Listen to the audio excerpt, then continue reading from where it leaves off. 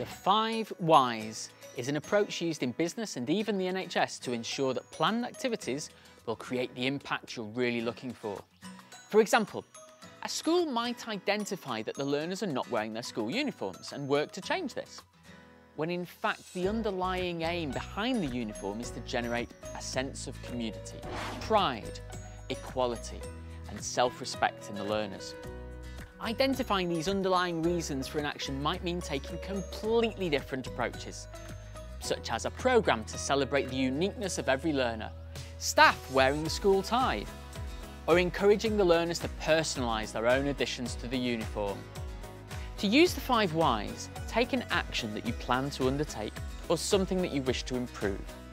This could be anything from implementing a new policy to redesigning a lesson plan, from designing a poster to solving global warming.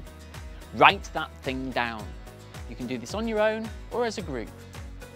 Now you have your action point, ask why. Why do you want to do that? Don't think too long or hard, but write your answer directly beneath.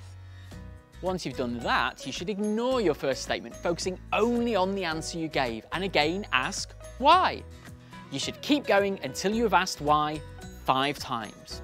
The point is to get to the real needs and reasoning behind your action.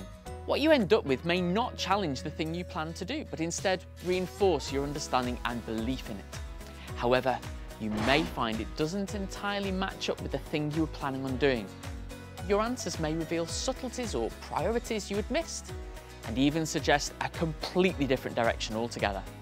Now, let's see. I'm about to take the two hour journey home. Why? Uh, because it's where I live. Why? Because I need somewhere to rest where I feel safe and comfortable. Oh, I don't actually need to go home. I could do that right here. Oh, hey. In fact, ooh, this is good. Oh, yeah. Maybe a little too far. Hello? Anyone? Anyone? Mama? Mama? Mama?